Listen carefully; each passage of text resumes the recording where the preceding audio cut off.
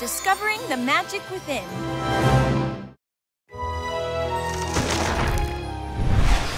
Princess Elena! Quita Moz, I was wondering if I could borrow your crystal tamborita. Again. Hmm. Do you not remember what happened the last time you borrowed it? Yep, that's why this time I brought my royal wizard to train me. Hi, Mateo. Big fan of yours, Quita. Can I call you Quita? Uh, anyway, I was thinking we'd begin with something easy. Uh, a starter spell, like wind. Oh, wind. Good idea. Bang your tamborita and say Cachoa. Kachoa! Nice job, Elena. Now, let's kick it up a notch. Yes. Maybe she should try a levitation spell, like moving those jars to the top shelf.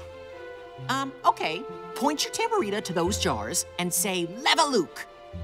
Levaluke!